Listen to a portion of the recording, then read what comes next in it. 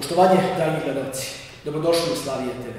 Moje ime je Nikola Dobrijević, a ovo je emisija Reč i misao. Vaš i moj večerašnji gost je Igor Jarimac, politikolog i prevodilac. Igor, dobroveče i drago mi da si moj gost. Hvala, dobroveče, drago mi da sam ovde došao. Igore, um, možete nešto više reći o vašem životu i vašem političkom radu? Pa, e, prvo da počnem od toga, dakle, ja sam, inače, bavim se prevođenjem, politikolog sam, preduzetnik sam, jel te, porezki obveznik doprinosim ovom društvu. A, što se tiče mog političkog rada, pa imam iskustvo raznovrsno i u političkim strankama, konkretno bio sam deo jedne neformalne grupe savjetnika Srpske narodne stranke u Crnoj Gori 2004. do 2008. Takođe sam učestvovao, bio sam jedan od autora izveštaja o političkim pravima Srba u regionu Naprednog kluba, nevladine organizacije, između 2009. i 2012. 2010. do 2011. sam bio VD šefa kabineta u Ministarstvu Republike Srbije i takođe sam 2012. bio podpredsednik političkog saveta Srpske liste takođe u Crnoj Gori. Igore, imate malo neobično prezime. Možete nešto reći o vašem poreklu? Da, to je vrlo zanimljivo. Ove, svi se tu pitaju čije je to prezime, koje je to poreklo, posebno oni sa kojim se ne slažem kad hoće malo da, da me napadnu, ako pominem tu uvek ono pre na evo ovaj ko zna šta je. Pa, e, Jarana zapravo je jedna turska reč koja znači, odnosno tada je značilo pre 200-300 godina zlikovac. Jedan naš, a, jedan naš predak, Luka Vitomirov, to je deveto koleno, odnosno ja sam njegov naslednik deveto koleno, je imao jedan komad ove imovine zapravo jedan čamac i lokalni trebinski, odnosno hercegovački bek Pervanagić je smatrao da to može sebi da prisvoji.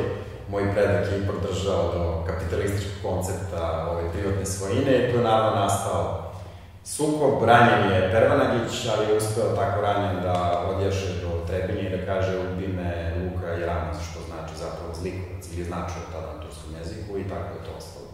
A ove, što se tiče našeg e, porekla, mi smo u Hercegovini spadamo u taj sloj stanovništva koji se svodi pod Maleševački rod, ili to je ranije srednjovekovno pleme, zanimljivo je to da se spominje, odnosno debate među istoričarima da li je najstariji pomen 1374. godina u Dugovačkom arhivu ili 1393. godina, tako da ove, kad volim se našli ja kažem da smo svakako po pitanju materijalnih dokaza iz arhiva starije od Crnovića, nismo Đuraševića, Crnovića jesmo, a svakako od Crne Gore kao političke pojave, odnosno kao um, geografskog pomena, odnosno pojma koji se koriste za gornju zetu Crnovića.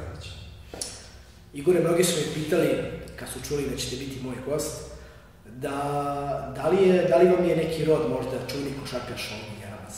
Jeste, jeste. Ne samo Ognjen, on ima čak dvojicu braća, isto tako istaknutih i vrlo dobrih košarkaša, stari brat Nemanja, Ognjen je srednji i e, takođe isto Miloš e, najmlađi i čak i njihov otac isto Nenad Kostadinov je isto bio sjajan košarkaš, nažalost ovaj, njemu je povreda ovaj, zaustavila tu karijeru usponu. I mi smo inače, mislim, neko rekao bih sedmo koleno svodstva, trebalo bi baš da prodajemo ovaj porodičnu stablu, ali eto, svakako jesmo ovde. Igore, kako ocenjuješ trenutnu političku situaciju u Crnoj Gori i šta misliš o današnjoj poziciji tamo? Pa, pre nego što bih počeo, samo da jednu malu uh, preciznost da napravimo, da mnogi ljudi kada pričaju o tom području, kada govore o Crnoj Gori, oni ceo to područje sadašnje Crne Gore, njenim granicama, priznati međunarodno, um, ne shvatajući da zapravo sam pojem Crne Gore se svodi na staru Crnu Goru, dakle na četiri nahije prvobitne, i to, je, to su granice koje su tek krajem 18. početkom 19. veka počele da se šire. Uh, veći deo toga na severoistoku su Brda, Stara Srbija, na severozapadu Stara Hercegovina, dole Boka i Primorje, takođe isto ima i Zeta, i onaj deo ko Barovci za takođe u istoriji ranije isto smatrao Donjom Zetom. I ono što isto val, uh, vredno istaći, to je da to nisu samo istorijsko uh, zavičajno geografski pojmovi, nego oni oslikavaju takođe i razliku u tim varijetetima. Znači, ako vi imate raznovrsnost tamo, ne samo političke prirode, i etničke, i verske i ostalo, unutar svake od tih grupa imate subvarijetete. Dakle, e, primjera radi govor kojim govore Srbi u Nikšiću i onaj u Beranama, odnosno dijalekatski se znatno razlikuju. Tako da, po tom pitanju, e, to je jedna veoma heterogena celina, morao bih da kažem. I u tom smislu, upravo zbog te heterogenosti, često tu dolazi do, e, kako bih rekao, stvaranja koalicija svih ili gotovo svih protiv jednog. I najčešća koalicija koja se tu pravi je zapravo antisrpska koalicija koja je stvorila ovo savremeno crnogorsku državnost, ne samo na referendumu 2006. nego i pre toga. Tako da svaki put kada to posmatrate političko stanje, morate da uzmete uvek u obzir taj etnički faktor, naravno i drugi isto koji su manje bitni jezički. I to se uvek svodi na to ko je tu oštećena strana i ko se udružio protiv koga. I to vam je poprilično e, prosto i jednostavna predstava, samo pogledate uh, ko su najveći gubitnici i uvek u pravilu to su Srbi koji su najdiskriminisaniji crnogorci koji imaju povlašćeni položaj, to je klasifikovano kao etnokratija u politikologiji, dakle to znači da jedna nacija dominira državom i u ovom konkretnom slučaju crnogoraca kojih 44-45%, oni drže prema njihovim e, merilima 85 do 90% poluga vlasti. Da li se to može nazvati oholokratijom, odnosno vladavinom Ološa? Moglo bi se, mislim, nećemo sad ulaziti da, da, da ne dođemo u, u, tu, ovaj, u taj domen da nas optuže za nekakvu vrstu ovaj, govora mržnje i ostalo, ali svakako ne bih rekao da ta crnogorska elita koja vlada među njima se može istaći po tome da su to elitni članovi društva, da su istaknuti, nego da zapravo uh, ima zaista dosta negativne selekcije. Upravo je Matija Bečković eh, na jednom prilikom rekao da svako selo u Crnoj Gori ima neki svoj zaseban dijalekt. Apsolutno, to je isto e, zanimljivo ne samo Crne Gore, nego konkretno reći ću u Boki isto tako.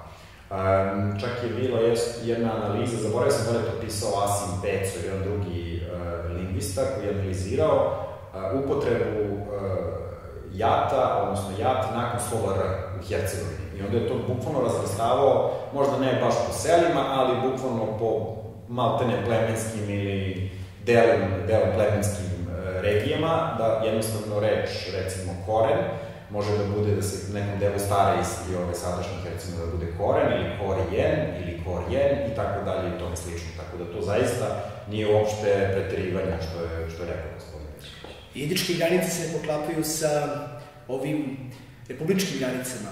Ljudi koji su malo pućeni znaju da je izgovor u Nikšiću sličan i onome u Banja Luci, nego onome, na primjer, u Podgorici u Bernama. Iako od Berana do Nikšića i od Nikšića do Podgorice 50 km, a do Banja Luka ima 500 km, sigurno. Upravo, upravo tako, dakle to na istoku je zersko-sjenički dijalekt, ovo na zapadu se uglavnom u nauci naziva istočno-hercegovački dijalekt, neko sad savremenije to naziva krajiško-hercegovačkim, pošto se on prostire sve do, do same Banije, do Liki Korduna, ali to je činjenica, dakle, ovaj istočno-hercegovački, dakle, Nikšić, To je e, novo štokarski i ekavski, a ovo vam je staro štokarski dakle, sistem, tako da oni imaju znatne razlike, pored ne samo intonacije, nego čak ponekad i u, i u vokabularu, čak možete to, da ne pričamo o izrekama i ostalim, ostalim kolokvijalizmima.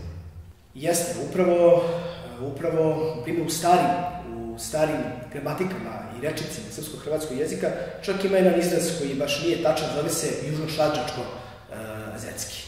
Da Da, da, ponekad se to jednostavno koristi se raznovrsna ime, imenovanja, ali suština toga je kada pogledate koren tog, tog jezika, odnosno tog dijalekta, on svakako je nasumljivo srpski. Vi čak imate kod Mrkovića, to je muslimansko stanovništvo iz Nadbara, oni čak imaju elemente ekavizama, iako to i ekavski govor, i pretpostavka istoričara i lingvista je to da je to ostatak, zato što je jekavica novih porekla, ekavski i ikavski su bili stariji i do njihovog stapanja došlo, čini se da Pavel Lević to negde plasirao u 14. ili tako nekoliko veku, to je 15.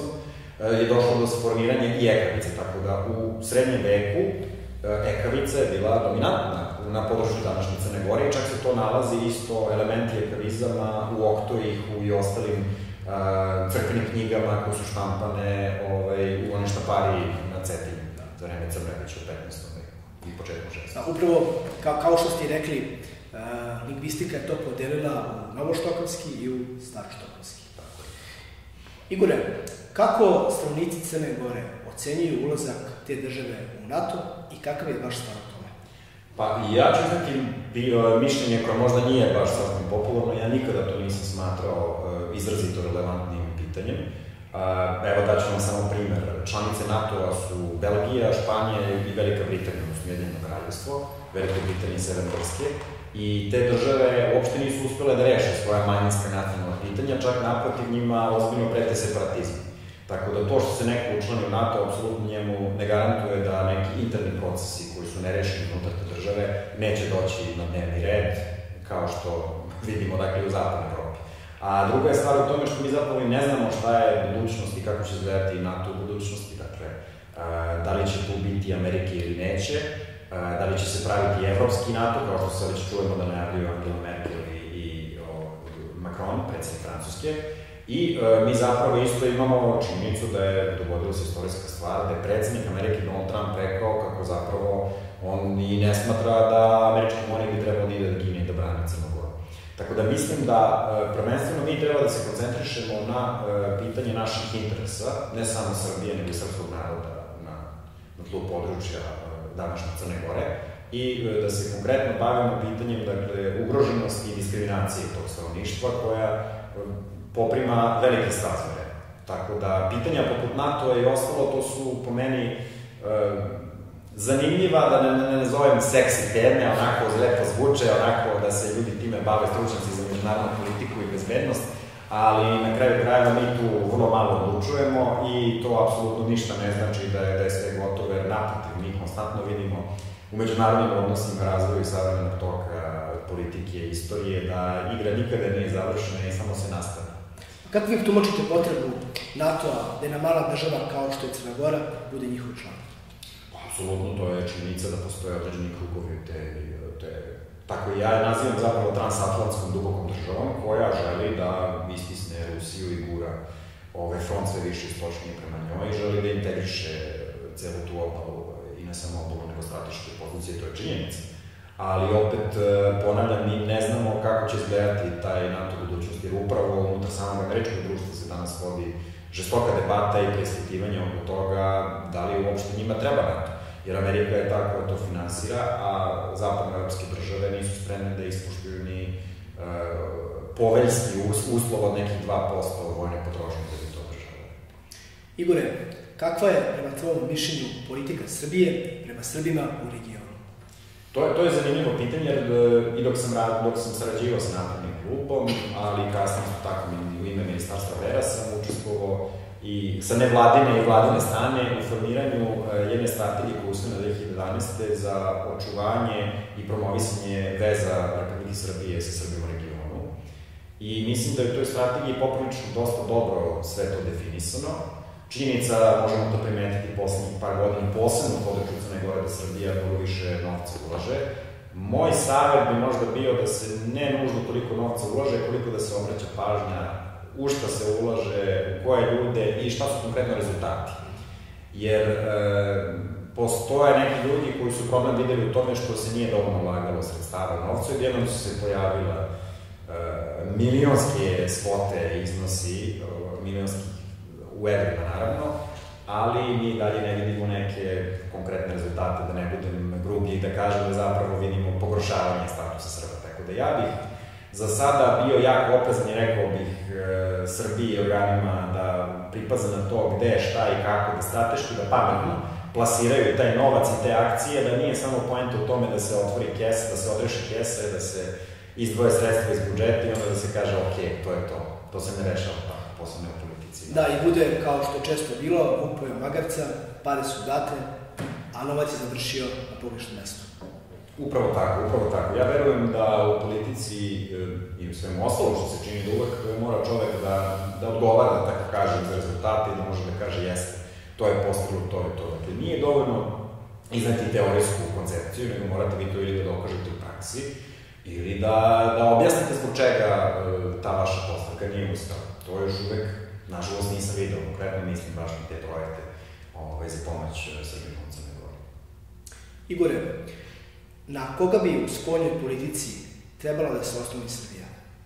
E, ja sam takođe mišljenja da Srbija, ali svaka država uopšte, vrlo redko može da kaže da ima trajne i stalne saveznike, da mora biti oprezna i ekvidistantna, da tako kažem, podjednako udaljena od svih, svih aktera i da večito, večito obraća pažnju na to što su njeni interesi, posebno u ovo doba. Ovo imamo sada savremeno doba koje je prosto neviđeno do sada, zapravo mi imamo situaciju da dve države koje mogu biti saveznici po jednom pitanju, nekom drugom apsolutno nisu. Najbolji primjer vam je recimo Rusija i Turska, dakle oni savršeno sarađuju oko turskog toka, u Siriji su konkurentni, a već na Balkanu tu je jako pitanje, da ne kažem da su potpunosti suprotstavljeni. Tako da po pitanju Srbije, ona svakako uh, mora, nažalost, da ima odnose sa, sa Evropskom unijom iz razloga što neki 60-70% naše trgovine ide ka njima. Mi svakako treba da negujemo dobre odnose, ne samo sa Rusima, sa Kinezima,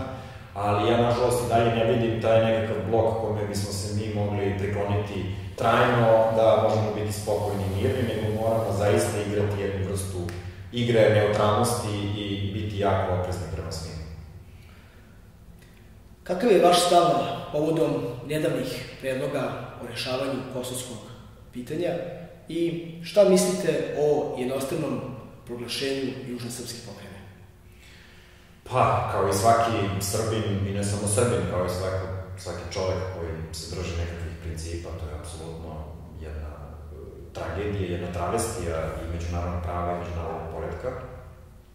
Što se tiče rešenja, ja moram priznati do pre par godina ja sam smatrao da je podela možda čak i neadekvatno rešenje ili nešto najbolje što mi možemo izvući. Ja sada, kako se menjaju stvari, apsolutno mislim da to ne treba prihvatati, makar ne u ovom obliku koji se nama nudi, jer e, mi možemo svakako začekati i dobiti mnogo više, da ne kažem možda čak i na vreme reintegrisati celokupnu pokrajinu, i to ne mislim uopšte vojnim putem, nego zapravo mirnim.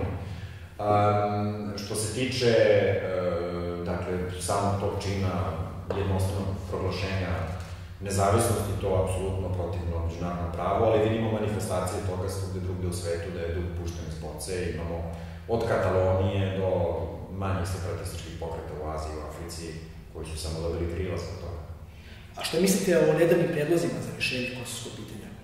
Pa, to je ono što sam, dakle, rekao, dakle, ako je priča o ovoj podeli, ja to ne bih prihvatao, ja bih daleko radije bilo, dakle, zamrznuti konflikt, prekinuo bih briselski dijalog, jer tu ne vidim da Srbija apsolutno ništa dobija, Srbija se obavezuje, Srbija pravi ustupke, ona druga strana apsolutno ništa ne rade po tom pitanju, samo nas ocenjuju i ovo sada sadašnje stanje koje možda ispratili ste ovo, verovatno, ne znam, kada bude emitovan ovaj, ovaj intervju, verovatno će se promeniti stanje ili pogorš, nadam se ne pogoršati, ali trenutno stanje, evo danas je 24. novembar, je poprilično kritično poslovno na severu Kosova i u srpskim Igore, kako tumačiš činjenicu da je Crna Gora priznala jednostavnu secesiju Južne Srpske pokrajine?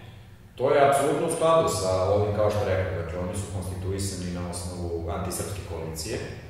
E, I to ne treba imati nikakvih iluzija od toga, ljudi ponekad misle da su oni to priznali zbog toga što, eto, Albanci ili Bošnjaci ili Hrvati podržavaju Milo Đukanovića. Ne, to je apsolutno deo, integralno, integralni deo njihovog političkog, pa možemo sad reći tog novoetničkog identiteta. Dakle, oni se negativno određuju prema Srbima, to postoji i teorija sociologije i teorija drugosti, kada vi imate jednu drugu grupaciju, mi smo ovo, a oni su ono, i mi smo nešto, o, zapravo ne znamo šta smo mi tačno, ali smo suprotno njih. Um, čak imam te informacije, došlo je do mene da zvaničnim predstavnicima Crne Gore, u međunarodnim organizacijama, pa čak i recimo UNESCO ili tako nešto što bismo smatrali bezazlenim, imaju izrečite instrukcije da uvek glasuju protiv Srbije. Tako da ne treba nas uopšte iznenaditi zašto su oni glasali u, recimo za članstvo Kosovo, lažne države Kosovo u Interpolu, ili zašto ovo, zašto zapravo mi se svaki put šokiramo zašto su to učinili, to je zapravo deo njihovog uh, raison d'etre u političkom smislu, dakle, oni su se konstituisali kao antisrpska pojava i dokle god se oni tako ponašaju, oni sebe drže na, na okupu. Da li su Albanci pretnja po stabilnost kako Srbije, a tako i Crne Gore? Pa, ako mislimo konkretno na Albance u Crnoj Gori, to je velika čak Srbije i Albanci se mogu naći kao saveznici, recimo, kao što se Srbi Hrvati mogu naći kao saveznici u, u BiH, kako god je, je definisali, ili recimo Srbi i Mađari unutar Evrope, kakve god. Um, čak smo imali taj slučaj, sećam se, za vreme uh, prvobitnog srpske liste, koja bio policija Srpske narodne stranke, ostatak radikala od Crnoj Gori, još nekih manjih nevladinih organizacije i Srpskog narodnog vijeća. E, platforma se zvala e, Mi za nas, sva prava svima. Dakle, konkretno smo se zalagali ne samo za to da Srbi imaju određena prava, nego sve ostale zajednice, uključujući Albance, Bošnjake i tako dalje, to. I analizirajući izborne rezultate na tim prvim e, postreferendumskim izborima 2006. uočio sam da u selima koje su čisto albanska, na istoku Barske opštine, nisam siguran da li je bilo Lucijsko, ali na istoku Barske opštine, u nekoliko njih je bilo glasova za srpsku listu. Dakle, mi ne znamo da li su možda nekakvi Albanci, neki Albanci u baru ili nekim našoviti nasadima glasali za srpsku listu, ali ovde definitivno znamo da to su čisto albanska sela. I to su sela u kojima nisu nikada zabeleženi glasovi ni za SNP, ni neke prosavezničke stranke, nego konkretno za srpsku stranku, koja je tada bila demonizovana, pa donekle da se ne lažemo čak i u medijima u Srbiji, u politici i ostalo, kao ekstremna, kao srpska nacionalistička, iako zapravo ni za šta od toga se nije zalagala, da smo imali situaciju da su Albanci izašli i glasali za srpsku stranku po prvi put i jedini put. Imali smo isto tako slučajeve da predstavnik jedan politički albanac u Crnoj Gori nekog partiji je čak se slagao sa predlozima i glasao za neke predloge Srpske narodne stranke, tadašnje i tadašnje srpske liste. Tako da, po tom pitanju ironije o tome da e, Srbi Albanci u sam, unutar same Crne Gore imaju jako malo, da se tako izrazim, spornih pitanja. Nema, možda ima dva, tri par mešovitih nasilja, ali uglavnom tamo gde žive Srbi, tamo nema Albanaca i tamo gde žive Albanci nema Srba. Po pitanju nekakvih crkava ili ostalo izuzev možda prečiste krajinske, ja mislim onom selu Ckla i ostalo gotovo da nema. I eto, ona crkva na Rumiji koja je spora, tu zapravo i nema Albanaca zaista da žive, to je nenaseljeno područje, tako da... Igori, kako objašnjavaš to da oni ne žele tu crkvu na Rumiji? Dobro, se bore protiv nje. To je, to je jednostavno uh, njihov, jel te, maksimalizam. Kome smeta crkva? Kako? Kome smeta crkva na... Ne, ali uh, vidi to, nije samo da smeta Albancima zapravo, da smeta pre svega Crnogorcima. Dakle, to je jedna zvanična državna crnogorska politika, jel te, napadanja Srba i njihovog identiteta. Ali uh, šta hoću da kažem, da ako bi jednog dana, ono što se priča, jel te, crtanja Velike Albanije, to došlo i kada bi zaista ta većinski albanska sela bila pitanje jel te odvajanja ili pripajanja, tu ne bi bilo gotovo da ne bi bilo Srba koji bi moralo da se iseli iz njih. Kao što isto tako je činjenica da, ako pogledamo taj jezičak na vagi od 4-5%, koji se odvijao i na referendumu i na prethodnim osnovu izborima, upravo se nadomeštava, odnosno post, postiže se zahvaljujući Albancima koji čine 5%. Tako da, po tom pitanju, ja ne vidim da su Albanci u Crnoj Gori nekakva pretnja tamošnjim Srbima. Daleko veća pretnja su i potentnija pretnja su Crnogorci. Nedavno je obelodeljena lista građana Srbije koji nisu došli u Crnu Goru. Na njoj su dva istoričara, Čedomir Antić, Aleksandar Raković, tu je i uvaženi akademik Matija Pečković i pravnik Dejan Mirović. Igore, kakav je tvoj stav povodom toga?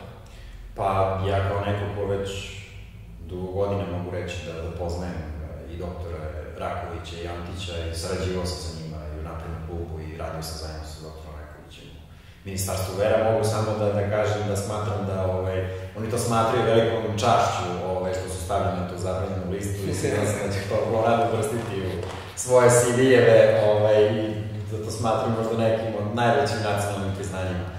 Vidite, to kao što rekao, dakle, kada imate jedan sistem koji teži e, negaciji prostih činjenica, jedan moj prijatelj, e, Lobodar e, Miroslav Vlahović, koji sebi nadenuo nadimak Geđa, je, je lepo rekao kako u Crnoj Gori e, postoji problem da se dokazuju elementarne činjenice, dakle činjenice koje možete matematički ili logički ili prostom, prostim e, postupkom dokazati da, da dokažete.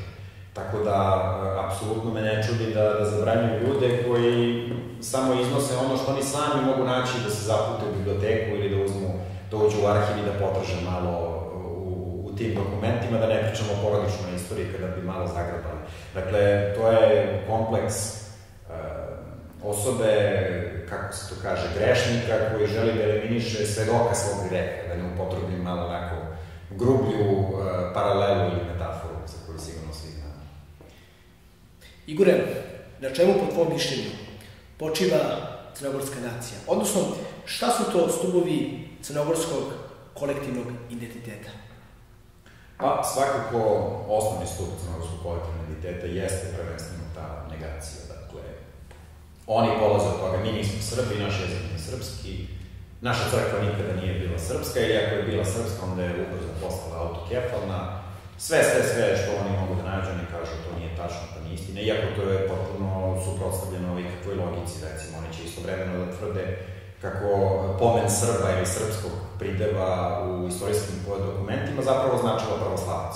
A onda zatim ćemo reći kako je Crnogorska crkva od uvek ili 500 ili 600 godina bila autokefalna. I onda kad im postavite pitanje, pa čekajte kako, kako to zna, označilo pravoslavca ako Crnogorska crkva autokefalna nema nikakve veze sa pećkom patrijašom, a onda to nije ni bitno, jel te, to se presveče. Tako da, e, njihovi istorijski koreni nisu samo e, bazirani na komunizmu. Ja bih rekao da je to jedna, jedan zbir najgorih i najnegativnijih mogućih osobina, kao da su najgore mogli da izvuku iz komunističkog poredka, iz eh, fašističkog i onog kolaboracionističkog, jel te, onih zelenaša 41-45. i oni ko sarađivali sa Nemcima, sa nacistima, jel te, i takođe isto negativnih pojava koje su postojale u Petrovićko-Njegoškoj Crnoj Gori, da se ne lažemo. Dakle, tu uh, ja bih uh, vladavinu Petrovića-Njegošu najbolje karakterisao kao čast izuzecima, ali kao neprosvećeni, neprosvećeni apsolutizam.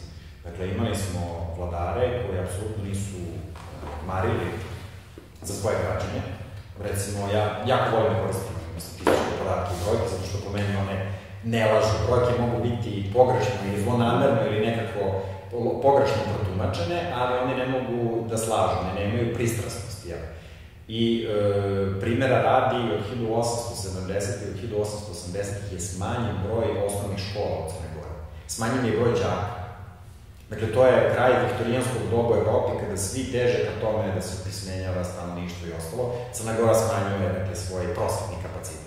Onda početkom 20. veka u zvaničnim brojkama smanjuje se budžet Ministarstva prosvete i crkvenih dela a zato se zauzat povećava budžet ministarstva unutrašnjih poslova, ajde i ministarstva spoljnih poslova, što znači da dakle, država svesno donosi politiku da vrši represiju nad sobstvenim stanovništvom pre nego da ga opismenjava i da ga obrazuje. Tako da taj, e, taj pristup antinaučni i antiintelektualni koji svakako je bio zastupljen posebno kod Nikole kralja kasnije, odnosno ranije knjaza, za koga zapravo se ne znam koliko godina osnovne škole završio u inostranstvu kada je bio, ovaj, on je svakako prisutan kod Mila Đukanovića, koji je personifikacija ove današnje savremene Crne Gore, koji primjer radi, to je čovek koji je na vlasti 30 i nešto godina, 30 godina, ne zna engleski jezik i još uvek je upitno da li e, zna da koristi računar. Tako da, kada postavite tu stvari na, na tim osnovama, to je poprilično jasno e, o čemu se radi i da je to jedna neću baš da idem dotle da kažem da je to jedan skup najgorih mogućih e, ljudskih e, osobina, ali svakako ima argumenta za takve tvrdnje ili za ljude koji su to upoređivali sa osvetom loših džaka, jel, ili, ili sa onom paralelom da zapravo najbolji koji su najbolji koji su tamo rođeni su otišli dalje ili otišli do Beograda ili drugo da se, ovaj, po svetu se smucali, a oni koji su mogli da se vrate nisu uspeli, e, oni su postali najubeđeniji i najvatrenije pristalice crnogorske nezavisnosti i crnogorskog, e, jel te, te samostojnosti i specifičnosti. I uh, tu se može zaista videti ta jedna paralela, da zapravo ta država postoji zarad tih ljudi. Jer uh, vi imate jednog Blagotu Baća Mitrića, to je njihov vodeći pravni slučak, on je doktor prava, bio sudija vrhovnog suda, To je čovek koji ima e, kockarske dugove i koje e, njegove kockarske dugove vlasnici kazina mu opraštaju tako što on svojim bivšim studentima odluči, kaže im, naredi im, e, ti ćeš onoga da oslobodiš ove presude, ti ćeš ovog onoga.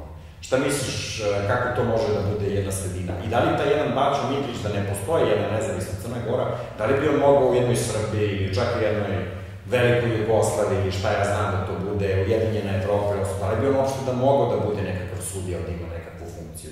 Da li bi ko normalno na nekakvom konkursu ili nekakvom ispitivanju ili nekakvoj proveri takvoj osobi mogu da poveri nešto?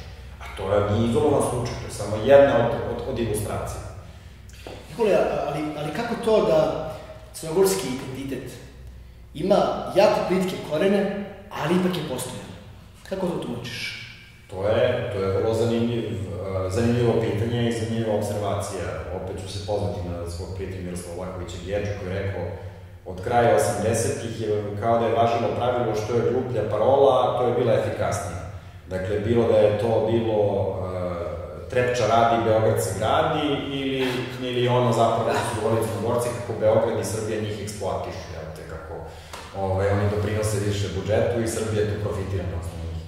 Znaš, uh, u politici uh, nije nužno da to što predlažeš bude logično. Mnogo je bitnije poziv taj i upotreba emocija a mora se to priznati Milu Đukanoviću savršenom, dakle, to političkom sistemu, mada on jeste njegova personifikacija, to zaista jeste jedna osoba koja drži to sve u malom prstu, e, je čovek koji je savršeno upoznao mentalitet dobrog dela svojih podanika i e, savršeno to upotrebljava i vrši tu preraspodelu i to disciplinom. Dakle, on je čovek koji mora ponekad i mora i u istoriji isto tako unutar svoje stranke da usno rečeno šamara i da neke ljude osuđuje, šalje u zatvor, šalje u zananstvo i tako dalje. Tako da po tom pitanju, dakle ta crnogorska nacija zaista postoji. Ono što znamo pod statističkim pokazateljima da se ona svakako smanjuje.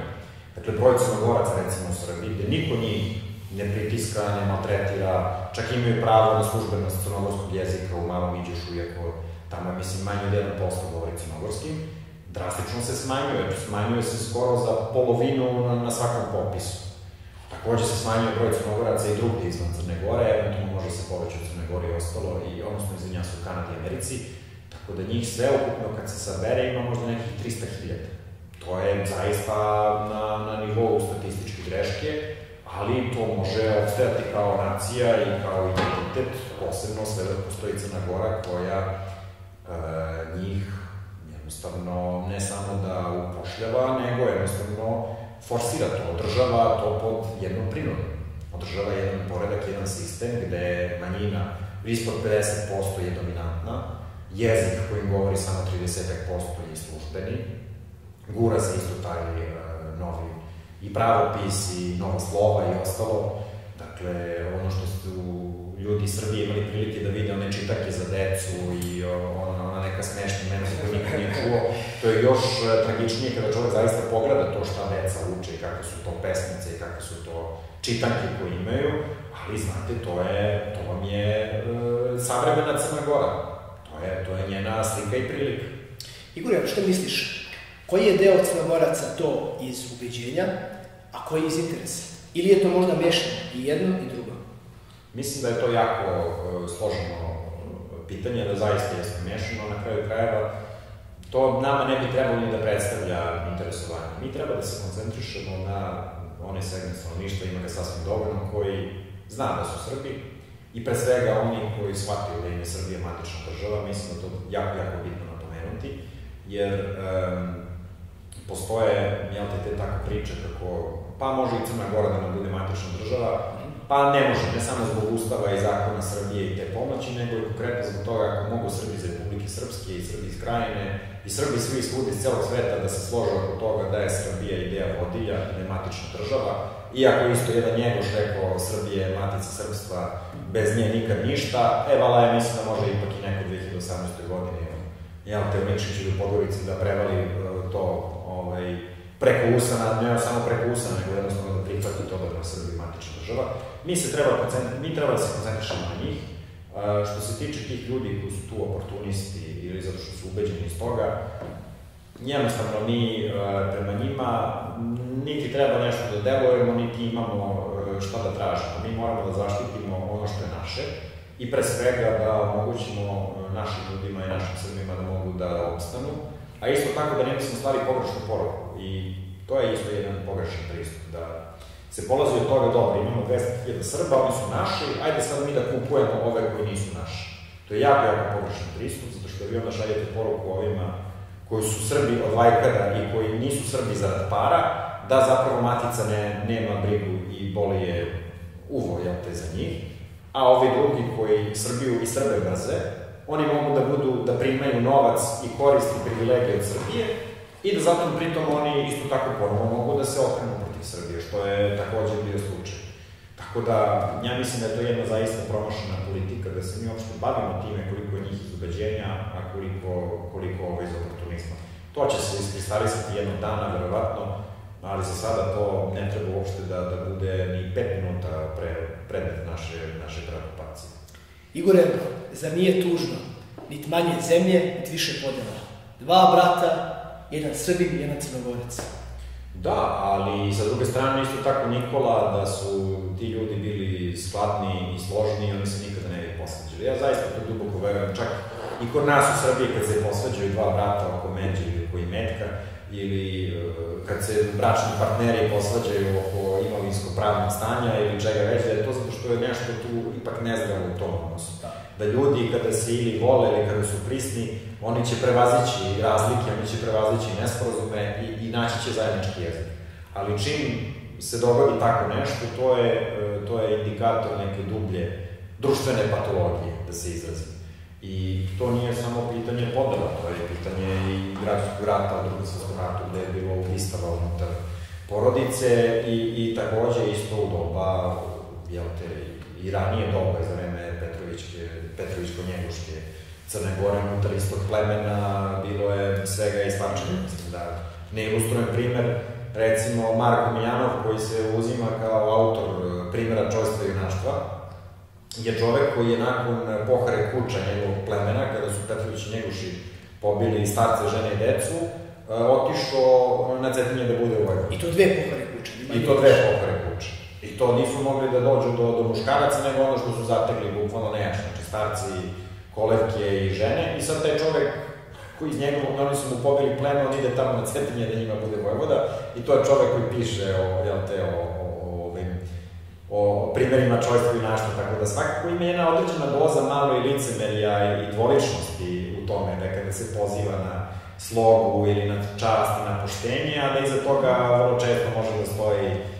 Sasvim suprotno ponašanje, tako da ne treba se uvek sve uzimati zdravo za gotovo, kako oni jako vole, oni su jako dobri oratori i to deklarativno da izjavljuju kako, eto, to je tragedija, to je šteta, da, da je stvarno tako, to bi bilo rešeno, bez Igore, da li postoje pritisci na Srbe u Crnoj Gori da postanu Crnogorci? Apsolutno, apsolutno. To je e, državni, državni motiv i državni razlog e, Crne Gore. E, svakako, ne samo da postanu Crnogorci, nego se vrši pritisak njih na sve moguće načine. Jednostavno, oni su... Kako biše, mašane na pravi prelom u svojom mozgu. Jeste, jeste. Oni su jednostavno građani drugog reda, kada se recimo formira budžet, otpisuje se tih 30 do 40% stanovništva, računa se, jeste to što piše u ustavu da vi imate pravo na to, mi to vama nećemo dati. Iz tog razloga u nekom makroekonomskom smislu Crna Gora je stabilnija u Srbiji, jer u Srbiji vi kad krojite budžet imate i više političkih opcija, imate više etničkih zajednica, nacionalnih manjina i svako dobije ono što mu sleduje po zakonu i po ustavu. U Crnoj Gori to ne važi, upravo zbog te škole, te Blagote Baće Mitrića i Čedomira Bukićevića, ovaj, tamo, znate, onako, piše nešto u ustavu u zakonu, to može da bude, ali ne mora da znači. To je najbolja ilustracija toga Crna Gora u Evropskom ratu Lazara Rašovića, koji je pisao 1919. On je bio vojni sudija i presudio u nekom slučaju i dođe to do kralja Nikole tadašnjeg, kaže, jeste, Sudija jeste sudio po zakonu, ali ipak je ovo Crna Gora uzeo odluku i preinačio je. Tako da to mi je ta, ta škola tradicije. Jednostavno, tamo može to tako, može im se, kako bi ono rekao, može im se. I e, po tom pitanju, dakle, to savršeno tako funkcioniše. Znači, ako treba nekoga potkinuti i nekoga oštetiti, to su po pravilu Srbi. I to smo videli 2011. kad je trebalo da se formiraju posebno deljenja na srpskom jeziku išlo se ka tome, mi smo recimo konkretno to gurali i preko Srpskog nacionalnog e, saveta, jel te, tog manjinskog, kome smo isto učestvovali u formiranju i tako dalje. I ja sam tu, da, da kažem neskromno, ovaj, gurao to. Um, 2011. oni su se zabranuli jer su shvatili da ako se budu po, stvarala posebno odeljenja, da će biti jako malo volim za crnogorski jezik. Jer onda kad roditelj može da bira, hoće li dete na crnogorski, na srpski, na bošnjački, na bosanski, na hrvatski ili koji god, naravno da će svako da bira u skladu sa, jel te, onim što on želi za svoje dete. Ne samo to, nego je taj zakon e, i ustav i zakon o manjskim pravima i slobodama nije samo davao pravo Srbima da imaju e, školu na srpskom jeziku i nastavu srpskog jezika, nego čak i e, istoriju svog naroda, muzičko sa elementima nacionalne kulture, Dakle, sve što se može zamisliti što ima jedna nacionalna manjina, recimo u Srbiji ili negde drugde u bivšoj Jugoslaviji. To biti cijela asimilacija, asimilacija Crnogorci. Apsolutno, suprotno to, toga apsolutno jeste asimilacija. Preko školstva.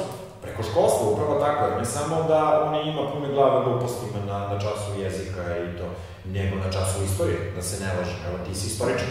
Da. Ti kada bi pokupio, kada bi podigao jedan od tih uh, učbenika istorijskih, tebe bi, tebe bi se zavrtala glava i onda bi počeo da se smeješ i onda bi vratno se pitao zar je moguće da ovo zaista postoje. Da, moguće, to zaista postoje. Dakle, to su, to su stepeni ludila koji možda čak i prevazila za neke druge balkanske, balkanske prakse. A to je ona paralela sa istorijom Srba u Hrvatskoj i Slavoniji, gde su Srbi najviše asimilovani preko školstva. Da, dakle, da. Ista matrica. Jeste, jeste uh, jedan dobar srpski Naravno, to, to su radili Mađari.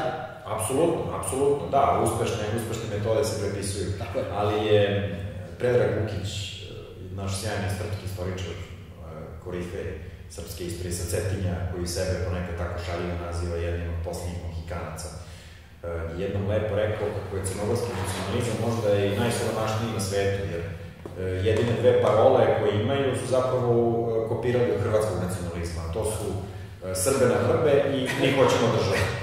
Tako da, u tom pitanju oni apsolutno nemaju oni neke svoje originalne rešenja, to su čisti, jel te, prepisivači što uspešnih ili što jednostavno stokastičkih e, metodom su došli do njih, e, rešenja koja apsolutno su zaista destruktivna. Ali ponavljam, u biti njihov cilj je to kako mi možemo danas što više da naškodimo Srbima ili, ili zapravo konkretnije Srbi. I to najbolje se vidi ako odete, recimo, portal analitika.me, to je glasogovornik njihove e, predstražnice, ideološke i svake druge, vi kada pogledate članke i komentare tamo koji se objavljuju, to je da vam se prevrne stomak. Velike političke nacije evropske su upravo i stvorene putem javnog modernog školstva. Tako da se oba crnogorska nacija spada upravo tim putem. Jeste, jeste, samo što ja i dalje verujem da to ne može i da se poredi. Sad je kasno. 19. vekom, da ipak danas onaj ko žele da bude Srbin i po pomoću interneta ostalo može da se očuva, svakako njegovo detinstvo, njegova mladost će biti oštećena tom činjenicom da je on prošao kroz taj i takav školski sistem, ali sa druge strane vi danas teško da možete nekome, jel te, da da, za, da, da navučete vunu preko očiju i da on sad ako ne želi. Jer to je, to je ono što se postavlja, dakle, to pitanje, da li ti crnogorci zaista, zaista ne znaju šta, šta pišu u istorijskim dokumentima, što su njihovi predsi bili to. Ne, oni to jednostavno znaju, oni svesno biraju da budu nešto sasvim drugo i to je jasno kao dan. Dakle, vi njima kad predočite dokaze, njihovo objašnjenje su prosto jednostavno to nas ne zanima, to je falsifikat, to je izmišljeno, vi to pogrešno tumačite, ima drugačijih izvora i drugačijih argumenta, ne kažu kakvih, nije ni bitno, to vam je jednostavno lokalni način e, kolokvijalni da vam kažu da ih to ne zanima i da jednostavno oni. Ili vam daju nekako detaljnost objašnjenje. Deda je dobio Obiliću medalju ili šta ja znam je bio u nekom boju, u nekoj bici koje su obično isto tako i preterane po pitanju veličine i stradanja i učešća i oni su na osnovu toga zaključili da su oni crnogorci nisu Srbi. To je apsolutno suprotno nekakve logici, ali šta to ima čovek uopšte da ulazi u takve, u takve stvari, da se, da se raspravlja sa nekim čovekom 21. veka oko toga ko je šta. Svako ima pravo da odlučuje šta želi da bude, to je apsolutno njihovo pravo. Igore, svedoci smo da je na delu u Crnoj Gori potiskivanje srpskog jezika a forsiranje nečeg što nazivaju crnogorski jezik. Kako ti komentarišeš ove pojave? Pa jeste, ali moramo isto tako da istaknem da e, Svi zvanični standardni književni jezici su na neki način, odnosno na neki način jesu veštačke, nisu političke tvorevine, neko je odlučio ovaj dijalekt i ovo pravilo će važiti i tako jeste. Tako da crnogorci imaju ja, te, svako pravo da oni kodifikuju svoj jezik, oni nemaju pravo da ga nametnu drugim zajednicama koje ne žele, odnosno Srbima koji ne žele time da govore, pa čak ni Bošnjacima ili Hrvatima ako oni to ne žele. I svakako mislim da mi moramo da se koncentrišemo na to kako da zaštitimo srpski jezik, da ga obnegujemo, makar u, ja, te, u toj sadašnjoj savremenoj Crne Gori. A što se tiče crnogorskog, jednostavno da ih pustimo. Idealno bi bilo to rešenje da njihova deca idu i da oni uče te čitanke i te besmislene i nikad iz koje niko nije čuo te autore, a da naša deca uče Disa, Desanku Maksimović, Sidoru Sekulić i tako dalje, Kiša i ostalo, dakle sve, sve ono što, što čini jednog savremenog čoveka humanim, civilizovanim, oplemenjenim, da to mi jednostavno pružamo tim mladim generacijama Srba, a oni ako žele da prave ljude koji će da čitaju nekog Zubiju Hođića ili ne znam ja te takve instant književnike koji su preko noći proglašeni za koje zaista, i zaista niko nije čuo, to je apsolutno njihovo, njihovo pravo da uči 32 slova i, i da govore i da govore kao što se govori po nekim tamo kartunima i po pijacama, apsolutno njihovo pravo. Zašto bismo ih sprečavali u tome, recimo, mi dopuštamo isto tako recimo, ko hoće u Srbiji da uči hrvatski jezik, on ga uči, iako nema veze sa onim govorom bunjevaca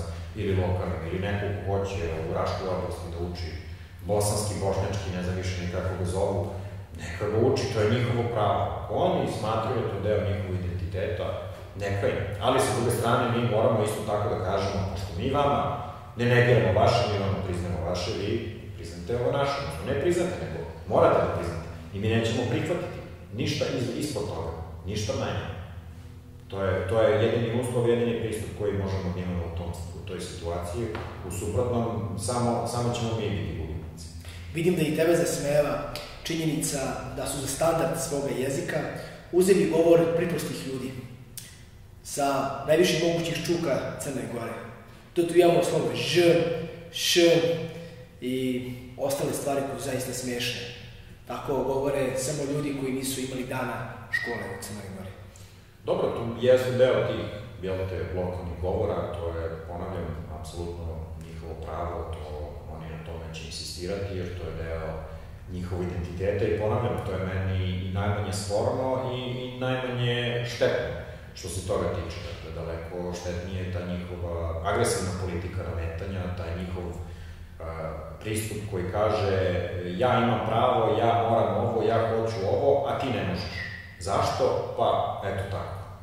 Dakle, tu je nešto na čemu trebaju isto najviše tih 200.000 Srba da porade. Oni moraju energičnije da se zalažu a, za svoja prava i da insistiraju na tome. Njihova deca neće učestvovati u tome, učit će po posebnom planu programu i imaju pravo da budu izuzeti iz svih vrsta nacionalističkih i ostalih manifestacija koje su sprovedene. Idu dotle da decu u prečkolskom teraju, odnosno uče, podučavaju da pevaju Oj svetla majska zora. Zašto bi? To je himna u čijem pisanju učestvovao Sekula Drljević, koji je dokazani saradnik Ustaša, nacista i fašista. I to je isto najveća ironija, dakle, savremena Crna Gora koja se koja poziva na tekovine Nora, Noba, pa zabranjuje spomenik Đurišiću, pa onda hoće da dignu spomenik Titu. Dakle, za njih nema ništa sporno u tim presudama i to ostalo, ne se pozivaju na njih. A onda posle kada im kažete, ali sačekajte tog Sekulu Drljevića koga vi rehabilitujete, njega je osudio isti taj Titov sud, isti taj komunistički sistem, kao, jel te, odnosno, ne kao Jalte, nego konkretno kao saradnika okupatora, Ustaša konkretno, ne samo nacista, to apsolutno ne, ne dopire do njihovih glava. Tako da, po tom pitanju, apsolutno tu moraju Srbi da budu jako čvrsti.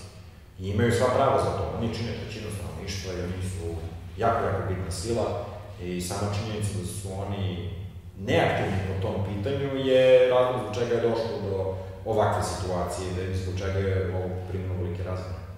Da li je jedan od stubova crnogorskog nacionalnog identiteta i bezbožništvo? Jeste, jeste svakako u određenoj meri, to je nesumnjivo, mada sada se sve menja i dolazi do stapanja i mešanja i koje kakvih galimatija sad, tako da pored, jel te, ove njihove takozvani CPC Miraša Dedejića, imate isto tako neko ko će možda da kaže ja sam crnogorac, ali eto ja sam vernik e, Srpske pravoslavne crkve, ili kako oni više vole da kažu mitropolije Crnogorsko-Primorske, to apsolutno više nije nikakva tabu tema, ali je činjenica da onaj original, original, originalna crnogorska nacija 45. kada je prvi put dokumentovano počela, je imala najviši procenat ateista. Da. Na popisu je, mislim, 53. godine. Da, 53. godine se, pored narodnosti, beležila i veroispovest. I e, neću da te slažem, ali ja mislim da je čak bilo nešto jako slično ovome danas, da je bilo 45% deklarisanih crnogoraca a, koji su bili pravoslavci, a ovo ostalo su bili podeljeni na muslimane, katolike i ateiste. Naravno, isto treba imati na umu da čak i u zvaničnim objašnjenjima popisa je objašnjeno kako su oni svrstavali ljude e, u određene kategorije. Dakle, nije, nije bilo uopšte slobodnog izjašnjavanja tim popisima 48. i 53. nego zaista tih 99% crnogoraca koji su postigli je proizvod ovaj, kasnijih presipanja ovaj, koje je obavio zvanično statistički zavod. Igore, da li je ova gora crna, crna gora tvojih predaka? Pa konkretno, e, moji preci, kao što sam rekao, ovaj, istorijski pomen dokumentovan u arhivima je čak stariji od Crne, već da ne pričamo o Crnoj Gori kao o njihovom posedu. Tako da ja nikada nisam doživljavao Crnu Goru kao moju, oni su moje porodice Svetla Rudina, to je sada deo opetne Rudine, taj deo sela, dakle, moj dede je ušao u Crnu Goru 1878. Iako su se oni borili za srpsko ujedinjenje i, dakle, doživljaj Crne Gore je od uvek bio kao jedne privre, privremene tvorevine zapravo. Ona je od uvek bila jedna ad hoc državica, da je tako nazovemo, i uvek se ciljalo od Svetog Petra Cetinskog, pa čak i pre toga je ostalo, da se objedini celo srpstvo u državi, tako da ona nikada nije bila kraj sam po sebi.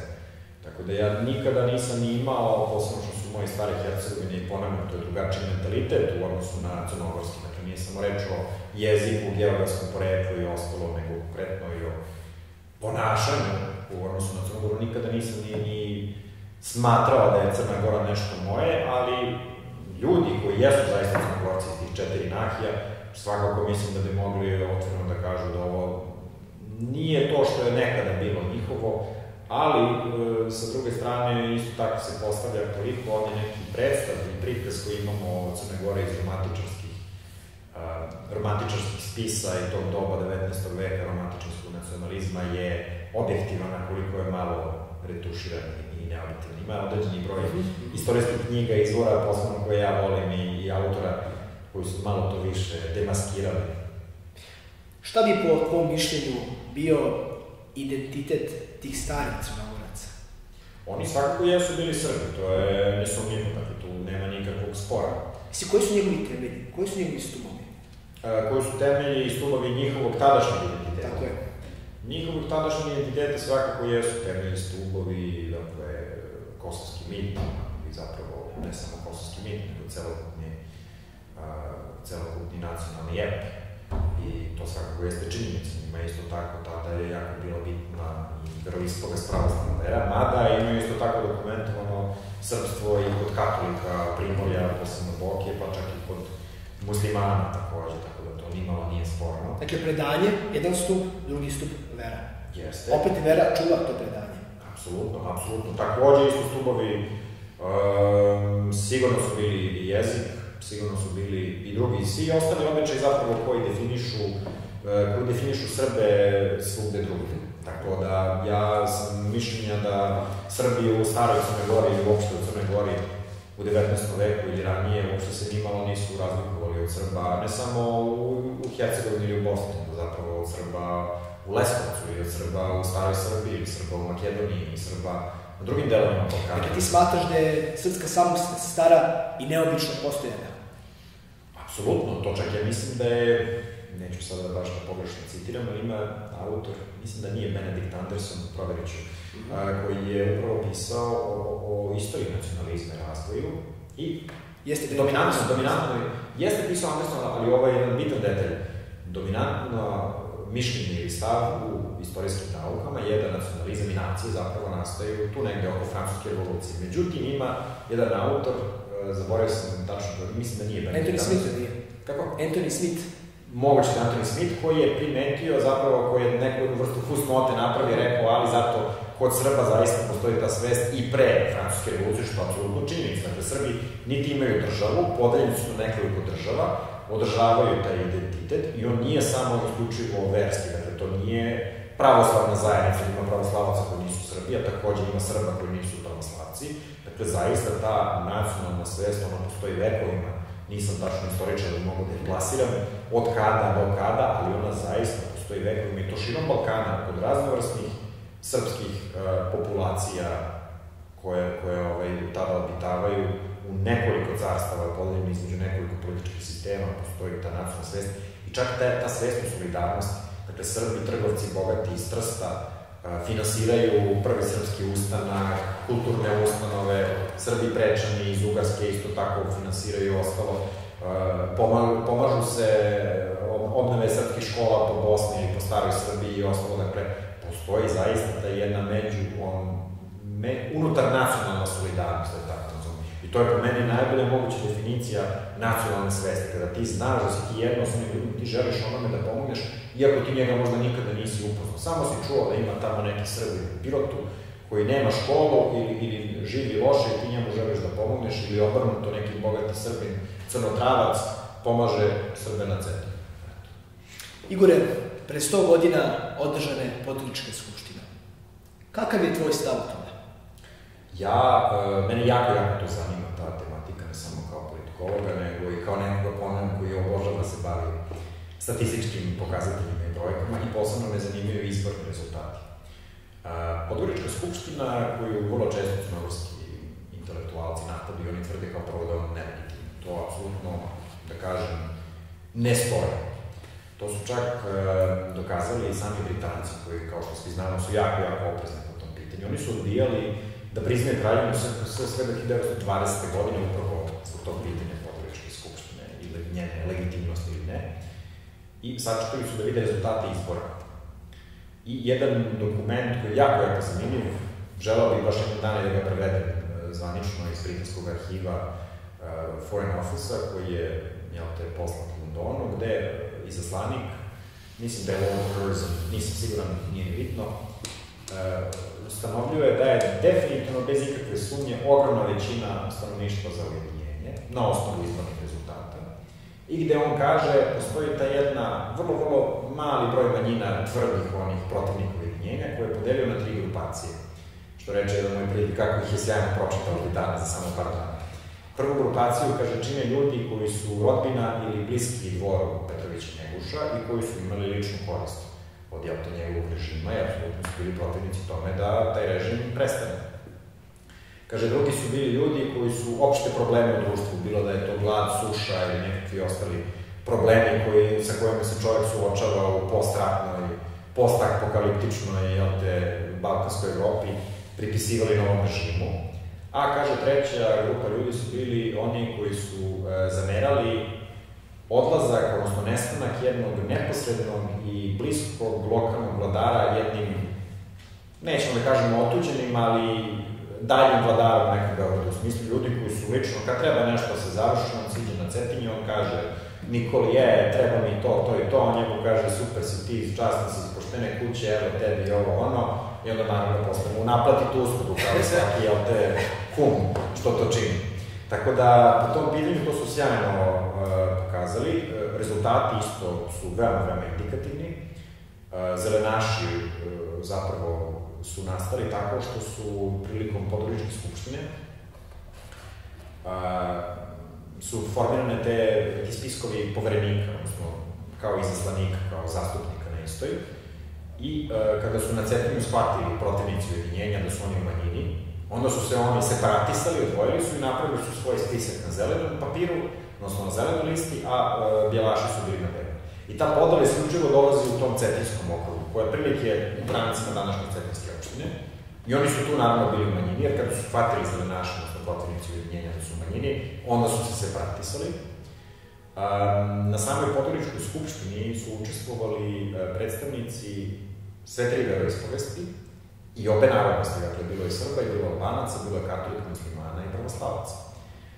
po prvi put su e, bili zastupljeni e, predstavnici okruga Pljevaljskog, Bjelopolskog, Beranskog, sadašnje ovo isto tako Rožaje, dakle, svih onih predela koji su pripuni 1912.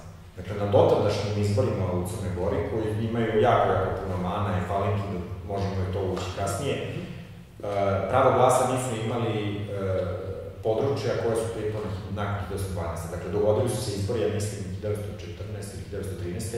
Na njima nisu mogli da glasuju. Dakle, taj deo stanovništva je potpuno bio nezastupljen. Bilo da su bili Srbi, ili da su bili Albanci, bilo da su bili pravoslavci, muslimani ili katolici, ljudi iz zapravo Malesije, ove sadašnje tu Podgorice i takođe ovaj, severoistoka koji je pripojen i plavi gusinje i to ostalo nisu bili zastupljeni, dok oni na području Skupštine samo su bili zastupljeni, nego su i glasali za to da budu Srbija. I predstavnici takođe Albanaca iz Metohije.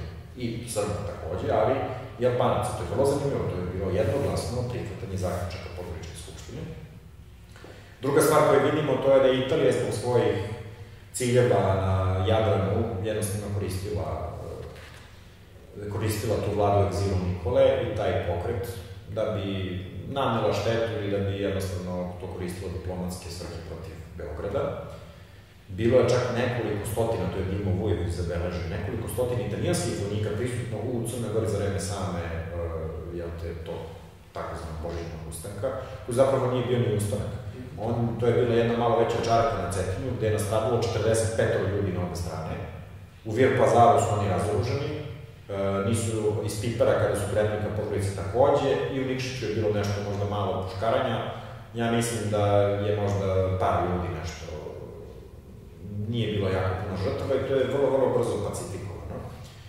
A, zatim isto vidimo, dakle, na tim prvim izborima 1920. godine za konstituantu Kraljevine SKS, Nikolina vlada u egzilu je pozvala da se bojkotuju izbori. Izlaznost na izborima je bila i nekih 66%. U predkumanovskoj Srbiji je bila izlaznost samo 56%. Dakle, 66% je bilo u, u Crnoj Gori, tim granicama 1878. U onim krajevima pripadnih 1912. je bilo i otprilike tako ili možda nešto više. I e, imali smo takođe tu situaciju da e, sve opcije su bile bjelaške, uključujući komunističku partiju Jugoslavije, čiji lideri Jovan Tomašević i istaknuti ljudi poput Pavla Žižića ne samo da su bili Srbi, deklarisani otvoreno, ne samo da su bili za ujedinjenje, ne samo da su bili učesnici takozvanoj bjelaškoj omladini koja se borila protiv zelenaša i odmetnika ostalo, nego su se zalagali za to da država bude potpuno unitarna. Dakle, nisu smatrali da treba da bude ni, ni federacije, ni autonomnih pokrajina, ništa ono kasnije što je nastalo nakon Drezdena 24. i 28. u komunističkoj partiji, dakle, bili su tu da bude potpuno unitarna država i čak su smevali svakoga ko e, je e, tvrdio da treba da postoji nekakva crnogorska pokrajina ili regionalna i nekakva, nekakva pojava. Komunistička partija čak imala na svojoj listi e, ljude koji su bili komunisti iz uže Srbije, mislim neki Vučićani, neki iz Kruševca i ostalo, da je čak ušao u Skupštinu. Dakle, izabran je u Crnoj Gori od strane ljudi, jel te, glasali su za čoveka koji je Srbin iz Kruševca, ja mislim da je bio iz Užica, zaboravio sam, nije bitno, ušao je tu. Zatim ste imali republikance koje je vodio uh, uh, Jovan Čonović, koji je napisao sjajnu knjigu, koja je veoma, veoma dobra kritika vladavine kralja Nikole, koja se zove političke borbe u Crnoj Gori 1905-1910. On je isto tako bio ubeđen Srbin. Čovek je završio u štabu kod Draža Mihajlovića u drugom svetskom ratu, imali bolje dokaze toga. A ostalo su bile uobičajene opcije i stranke, radikali, demokrate i to se podele nekoliko struja upravo apropo te priče o podeli braće i ostalo. Bilo je jedna zemljoradnička lista i jedna, mislim, Šaulićeva ne, ovaj, nezavisna lista. I onda e, vlada u egzilu, pošto vidi da je, jel te, izgubila tu svoju bitku, poziva na bojkot, onda su oni promenili ploču i kažu e, da, da, da, naši ljudi koji su protiv ujedinjenja, oni su glasali za komuniste i za republikance. Što je potpuno isto tako besmisleno, jer i republikanci se isto tako zalažu za, jel te, jedinstvenu državu, nesporedno su to Srbi. I to nešto čak i sami Britanci u onom izveštaju negiraju, kažu da je potpuno sumanuto, oni su pozvali na bojkot, Pa onda kada su, jel te, ovaj, se postao da niko njih nije poslušao, onda su se pozvali na to. kada uporedimo recimo sa izborima ranije u Crnoj Gori, 1906. 7. i tako dalje, tamo je izlaznost bila, nemamo čak ni kompletne brojke, ali nekih možda 30%, dakle ovo je bilo duplo veća izlaznost. I gotovo u svim predelima je većina izašla, izuzev možda nekih delova, nekih delova Katolske nahije, gde je bilo možda nekih 45 do 50, ali čak i to, s obzirom da znamo da nikada ne može izaći 100% ljudi, možemo reći da čak i ljudi u Bjelicama, u Njegušima, u, u, u, na Čevu i ostalo da su bili većinski za ujedinjenje i za to da budu jedno sa Srbijom i sa Srbijom. I to je nešto što u potpunosti uh, saslica temelje savremene e, crnogorske nacije koja upravo tvrdi kako je to velika nepravda koja je njima učinjena i kako je to nelegitimno, kako je to urađeno pod, uh, pod, pris, pod, jel te, pod prinudom srpskih bajoneta, prisustvo srpske vojske bilo možda, ne mislim, 400-500 ljudi, tu je bilo više prisutniji Francuza, Italijana, Britanaca, ostalih savezničkih vojnika na kraju krajeva, ako je stvarno potrebno toliko ljudi da bi se okupiralo jedno stanovništvo od 300.000 stanovnika, tada to vreme, koje pretpostavljamo bilo naoruženo, tako, to je deo kućne tradicije, onda šta, šta više reći. Tako da, apsolutno matematički argumenti u potpunosti uh, demantuju i negiraju svaki njihov navod o tome da je to nelegitimno, što se tiče, dakle, samog pozivanja jel te, na ustav, kako to nije, jednostavno to je stečeno stanje, ta Crna Gora koja je postala po prethodnom ustavu, koji sam Nikola je više puta kršio i nije poštovao, ona je kapitulirala, on je to napustio i većinski uh, konsenzus, da ne kažem gotovo jednoglasni konsenzus stanovništva je bio da se mora raskrstiti sa dinastijom Petrovića Njeguša, taj njegov čin I pred kapitulaciju, pred samo bežanje je dokumentovan u mnogim svedočanstvima, uključujući Sima Popovića, njegovog adjutanta, da je bilo grupacija stanovništva, ne kažem plemena, koji su apsolutno hteli da se fizički obračunaju sa njim. Čak ima i anegdota da mu je svašta rekao Serdar Janko Vukotić pre nego što je otišao u smislu, ako se ikada budemo videli, čućeš ti ovaj, od mene. I to je isto jako indikativno, najveće najveći generali ili vojskovođe u toj zemlji, i Sardar Janko Vukotić, i čak isto brigadir Mitar Martinović, koji je sa Bajica, dakle to je ono srce Cetinja i ostalo, koji je sam pričao i priznao kako je bio deo Cetinske kanarila, kada su bili ti uh, rivaliteti, da ne kažem sukobi, dinastički, možemo reći čak i državni, između Cetinja i Beograda, Mitar Martinović je držao tu stranu, jel te Cetinske kamarile, i kada je zatim video kako Nikola vodi prvi svetski rat, je nakon tog 1918. postao ubeđeni bjelaš, ujedinitelj i apsolutno je podržavao Podgoričku skupštinu. Dakle, vrlo je teško naći ugledne ljude koji su bili protiv Podgoričke skupštine te, iz te sredine. Igore, kako tumačiš ponašanje kralja Nikole? Od onamo onamo, preko, sla, preko slavne kapitulacije 1915. godine, a potom, nakon 1918. godine, on je imao jedno antisavsko delovanje. Pa, počnemo od ovoga. Ja apsolutno mislim da on zaista jeste bio Srbin. Isto tako kao što je, odnosno ne mislim, to je dokazano da je bio Srbin, kao što isto tako Vojvoda Mirko koji je činio stravične zločine po kućima, on je isto čovek, mislim da je pisao i pesme, onako, sa nacionalnim nadaknućem, srbovo je, što bi se rekao čovek. Nijesu svakako Petrović i Njeguš i e, Srbi. E, međutim, ja mislim da njihovo ponašanje kao vladara je bilo apsolutno neprihvatljivo i nedostojno za to vreme. I to je nešto sa čime se slažu ocene i autora kao što je Jan Kuđanović koji je bio savrednik toga, koji je kao mladinac bio osuđen na nekom lažnom suđenju, ne znam da li je osuđen na doživotnu kaznu ili možda čak smrtnu kaznu u odsustvu, to su učinili, to je učinio Nikola zato da oni ne bi nikada dolazili, da mu ne bi pravili jel, te probleme kao opozicionari mlade demokrate.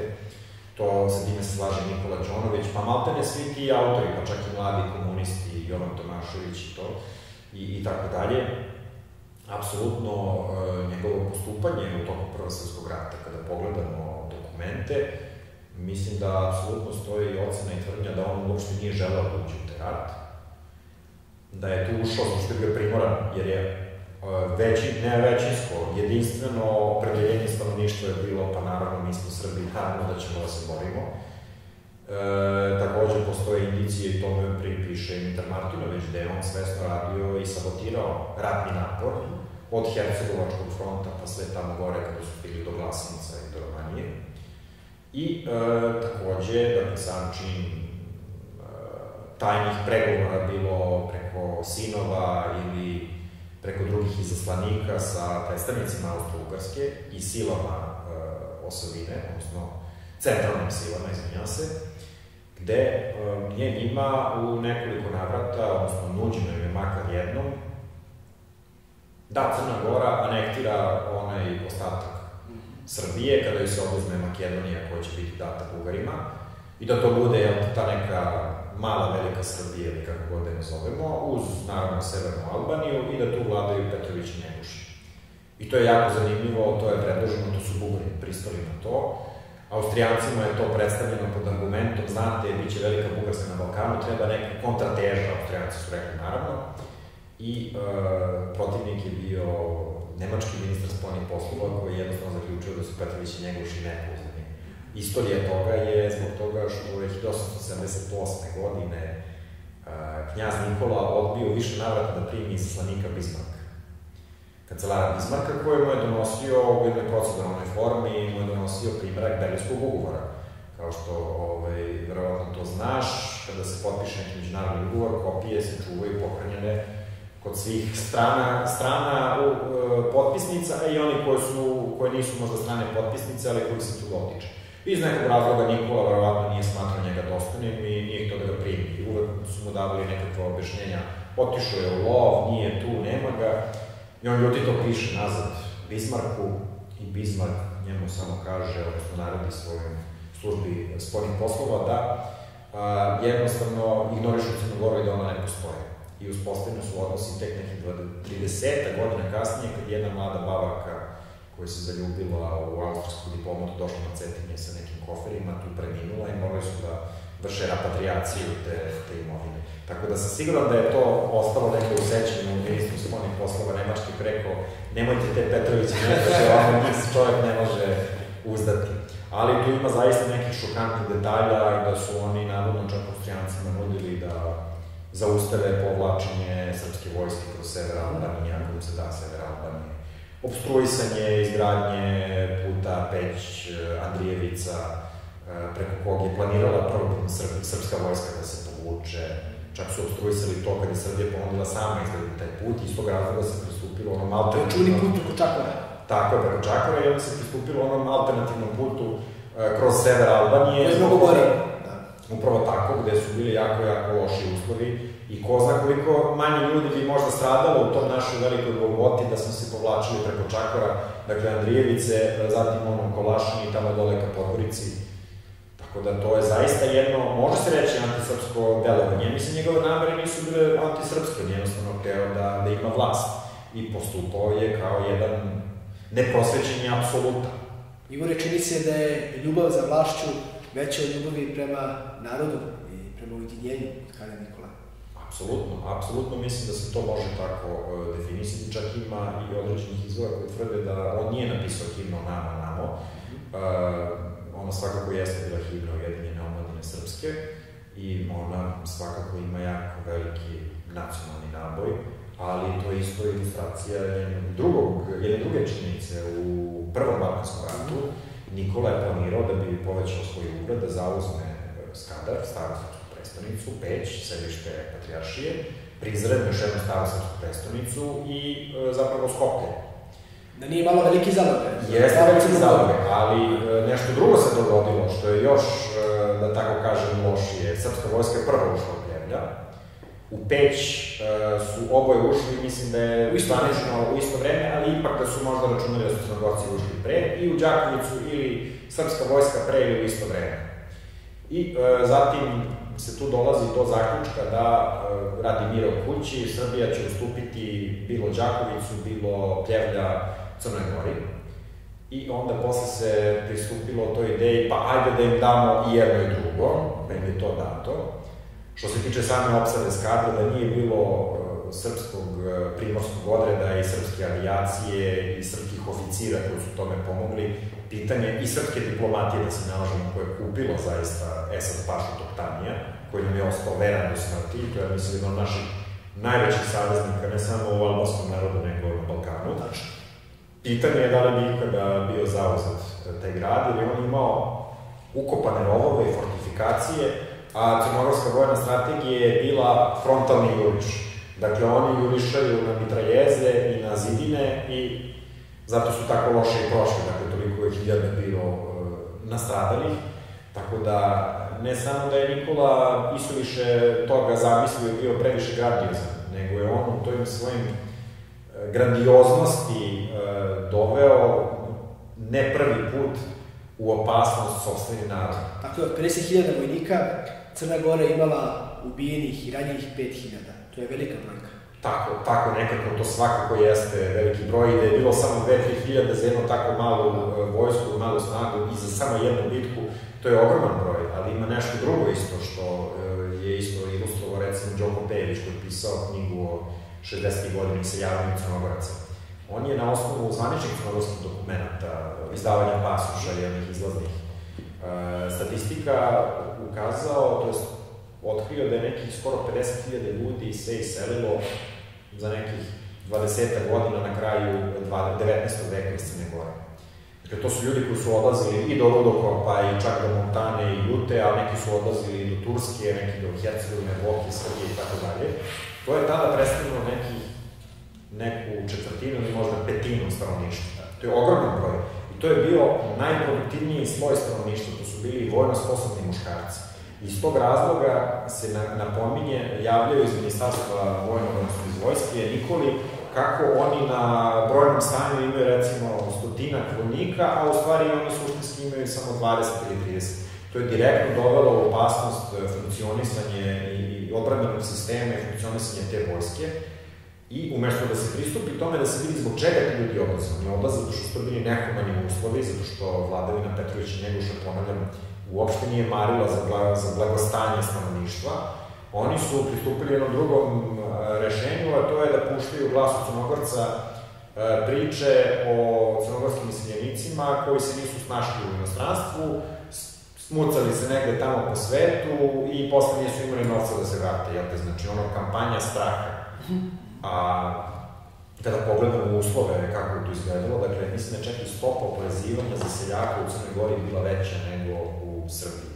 Dakle, to, sve ti to govori, dakle, jedno područje koje je poljoprivredno na ivici opstanka i oporezuje svog seljaka, uh, vladari i njemu skloni ljudi se bave zelenaštvom, dakle, to je jedno opšta nemaština i opšti nemar vladara prema sobstvenom narodu, do te mere da recimo kada se uporede brojke o prinosu u poljoprivredi, nakon ujedinjenja, tokom 30. godina, krajem 30. ispostavio se da je čak prinos, sad da, da ne slažem, ja mislim da je to bilo orašasto voće ili neka druga vrsta voća, u Crnoj Gori bio veći nego u Srbiji. Dakle, to zemljište čak nije toliko neplodno, nije toliko neproduktivno, koliko jednostavno ti kada na vlasti imaš vladare koga ne zanima znanje, ne zanima kako da unapredi stanje njegovog stanovništva, nego konstantno ga drži u nekom stanju ratnom, igra na taj romantičarski nacionalizam, koji je nesumljivo srpski, ali on njemu služi kao mobilizacioni efekat, ali suština njegove vladavine je to da se on održi na vlasti. I tu opet se vraćamo, to je paralela sa sadašnjim sistemom, koji je nacionalromantizam srpskog tipa zamenio antisrpskim nacionalromantizmom, a ovo ostalo je, da ne kažem, nepromenjeno, ali možda makar slično. S obzirom da je srpska lista, čiji ste i bili funkcioner, stavila na svoj grb datum Poduničke skupštine. Kako, Igore, ocenjuješ izjavu Milana Đukarovića e, da država mora zakonima da onemogući bilo koga da slavi taj događaj?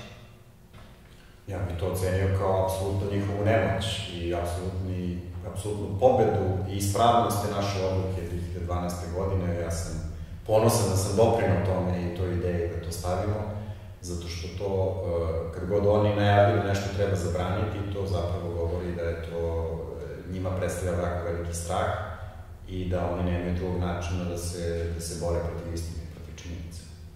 Igore, kako bi ocenio stanje u Crnoj Gori između dva svetska rata? I da li možda Beograd snosi makar malu odgovornost za razvoj crnogorske nacionalne svesti? E, period između dva svetska rata Crnoj Gori i njegov opis tog, tog vremena. Maltene bi iziskivao jednu posebnu emisiju, ali ukratko da kažem, to je, čini mi se, jedini primer u istoriji dakle, tog područja, da su tu postojala i demokratija, da tu postojao i društveni, i ekonomski, i politički, i svaki drugi vid e, razvoja civilizacijskog, i da je to prvi put da to stanovništvo imalo nekakvog razloga za optimizam i e, da su se rešavala neka krupna pitanja, bilo da su to, da je to razvoj e, poljoprivrede ili industrije i drugih aktivnosti, do činjenice da do 39. godine je nekih 30 i nešto hiljada ljudi iz Crne Gore kolonizovano po Metohiji i e, na Kosovu. Dakle, to je jedna desetina stanovništva. Dakle, tako se rešavalo agrarno pitanje ljudi koji nisu mogli bilo da opstaju u nepodnim predelima ili, ili drugi problemi. Um, to su samo neki od indikatora, da ne pričamo o tome da je to prvi put da su ljudi zaista imali priliku da glasaju e, za raznovrsne političke opcije. Mogli su da glasaju za monarhističke ili republikanske stranke, za desničarske ili levičarske, e, za, recimo, stranke koje su bile e, više u, smislu, čak su mogli da glasuju za crnogorske federaliste, jel tako, to je isto postalo kao opcija. I um, jednostavno to je nešto što je bilo tada neviđeno i oni su tada prilike da poreski sistem je toliko bio efikasan da u jednoj istoriji Italijana koji piše o okupaciji Crne Gore 41.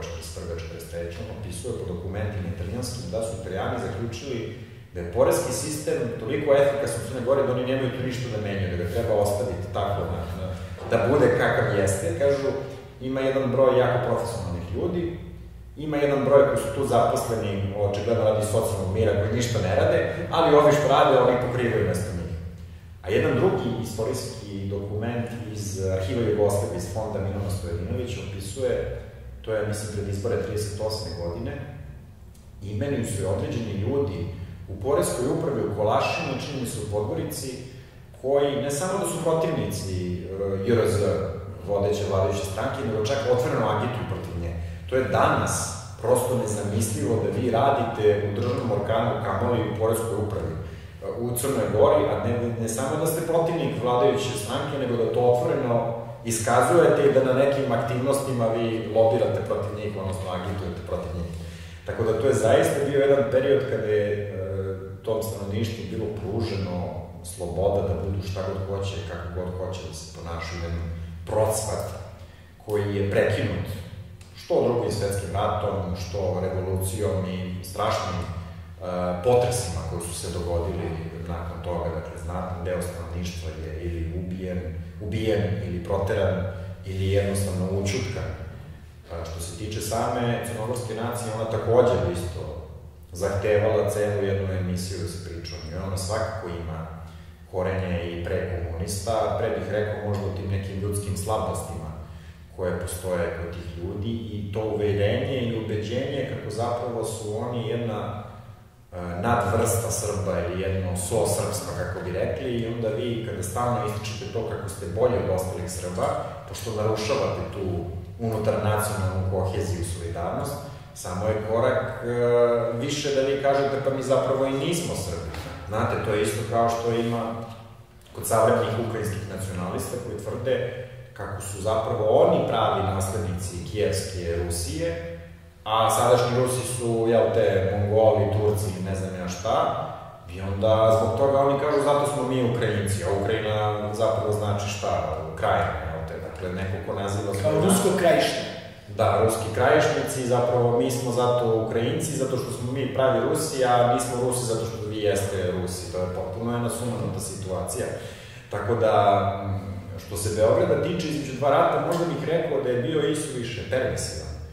Većina tih e, zelenaških podmetnika ili ljudi koji su osuđeni je kralj Aleksandar e, abolirao, to je oslobodio ih je. Jovanu Plamencu, koji je bio politički i suštinski vođa takozvano to Božićne pobune i ustanka 1918. On se pomirio i dato mu je poslanstvo, on je poslat u, u Pragu. I tada u Skupštini Kraljevina SRS jedan član opozicije kaže, eto vidite, ovo je dokaz da se više isplati raditi protiv ove države nego za nju.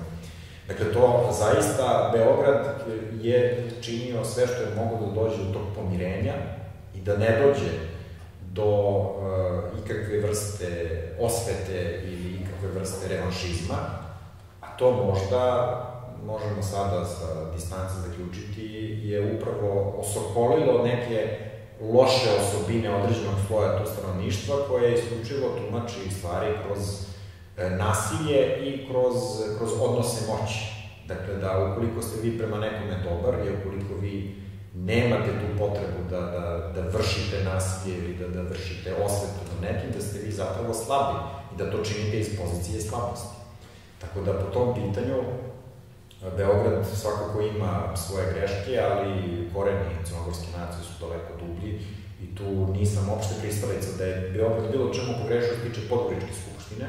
Možda je pogrešio što nije više e, nametnuo zakone Kraljevine Srbije unutar cele Kraljevine i rešio to pitanje, nego se tražio nekakav konsenzus između različitih političkih sistema i nasledđa, ali pitanju, dakle, Crne Gore tu apsolutno nisam, ja naišao na neki konkretan podatak, bilo statistički ili nekakav argument, argument ili nekakvo zakonsko rešenje, koje bi dokazalo da tu Beograd imao ikakvu zlo, na, zlu nameru prema njima. Dakle, izgradilo se daleko više puteva, izgradila se pruga, dakle, sve ono što je bilo zanemareno, što nije rađeno za vreme Petrovića Njeguša, to, to se razvijalo za vreme kraljevine Srpske, kraljevine Jugoslavije i zaista čovek uh, u Nikšiću i Podgorici ili Baru ili, ili, ili na Cetinju 41. je živeo mm, da ne kažem desetak puta, ali sigurno nekoliko puta bolje nego 1918. Kako ocenjuješ položaj Srpske pravoslavne crkve u Crnoj Gori? Položaj Srpske pravoslavne crkve je svakako da deli sudbinu svog naroda tamo gde se nalazi, gde god bio, pa tako isto i u Crnoj Gori. A, tu je dodatno, opet ponovio bih, ovo je još jedna tema kojom bi mogla, koja bi mogla se posvetiti cijela emisija. Ono što je isto tako specifično je da se odvijaju trenutno isto i previranja i izmene unutar same Srpske pravoslavne crkve, postoji određena dinamika između vladika i vidimo to isto na svetskom nivou, dakle rivalitet između Moskve i Carigrada, tako da to dodatno e, zakomplikuje stanje, ali mi imamo jasnu nameru, dakle, Crne Gore, dakle DPS-a, koji je zvanično svojim službenim dokumentima sebi postavio kao cilj da se formira jedna autokefalna crkva. Igore, šta misliš o takozvanoj crnogorskoj pravoslavnoj crkvi i njenom samozvanom lideru Mirašu Dediću? Pa, e, Miraš Dedejić i njegov prethodnik e, Antonija Abramović, koji je zanimljivo, on je proveo dosta vremena Motra u Kanadi, gde sam ja proveo isto pola svog života. Ove, to su klasične udbaš, udbaške ujdurme, da ih tako nazovemo, ali jedan moj dobar prijatelj iz Podgorice, Dragan Knežević, je vrlo lepo primetio kako je e, maltene uloga CPC služi kao ne korektivni faktor, ali korektivan u negativnom smislu prema, prema SPC. Dakle, da oni tu e, nisu ozbiljan konkurent i ozbiljan igrač, nego jednostavno služi zato da bi vlast mogla putem njih da vrši pritisak na e, mitropoliju Crnogorsko-Primorsku i ostale partije u Srpske pravoslavne crkve u Crnoj Gori, da bi mogla njih da traži ustupke i da im to govori, eto vidite, imamo mi ove naše koji hoće da rade sa nama ili koji hoće da rade kako mi, kako mi želimo. Da je to jedna vrsta prljave igre, ono, dobro loše policajaca. I za kraj pitanje, da li je moguće ponovno ujedinjenje Srbije i Crne Gore? Pa, e, možda i jeste, mada se postavlja pitanje da li je to nešto što bi odgovaralo Srbiji ili što zapravo Srbija hoće. Mislim da e, ovom sadašnjem crnogorskom režimu ili postavci ili uopšte njihovoj ideologiji, njima bi njihov strah je mnogo više ne toliko ujedinjenja, dakle da može da opstane Crna Gora kao nekakva republika u nekom savezu i nekoj federaciji, nego je to upravo utapanje u Srbiju, zbog toga ta njihova toliko mržnja prema Podgoričkoj skupštini koja je suštinska to učinila. Jer ponavljam, ukoliko bi oni izgubili taj poredak, taj sistem, onda oni ne bi mogli te njihove kadrove da, da smeštaju i ne bi mogli da ne bi mogao neko da bude doktor crnogorskog jezika ili doktor crnogorskog prava i, i tako dalje i tome slično, tako da mislim da što se Srbije tiče, ona svakako treba da, da stremi tome da održava svoj narod u regionu, ali ako ikada dolazi do nekakvih političkih previranja, ako jedna Republika Srpska nema nikakvih zahteva i pretenzija da želi da bude u federaciji sa Srbijom ili da bude autonomna pokrajina, nego njena prosto dvodecenij, trodecenijska težnja da bude Srbija tačka bez zareza, bez igde ičega, ako mi budemo stvarali nekakvo ujedinjenje, ja ne vidim nikakvog razloga opstaje nekakva paralelna politička tvorevina, nego možemo svi biti ponovo Srbija, isto kao u srednjem veku i kao 1918. i kao što su hteli ugledni Petrović i Njeguši, ili jednostavno ne moramo da budemo zajedno dok vidjet ćemo do nekog momenta. Igore, hvala ti što si bio gost Slavija TV-a. Hvala vam. Čast. Hvala vama na toj velikoj časti što ste me pozvali i želim vam puno uspeha u budućem ratu. Hvala ti na tome, Igore. Poštovani gledalci, za danas toliko. Do sledećeg viđenja, svako dobro.